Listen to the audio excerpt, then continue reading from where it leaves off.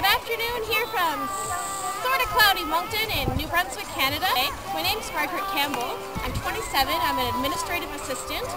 I have traveled Australia. I've traveled across Canada. So just in a couple of minutes here, I'm going to show you a little bit about winter here in Canada. Borrowed this from a kid a minute ago, so we'll see how it goes.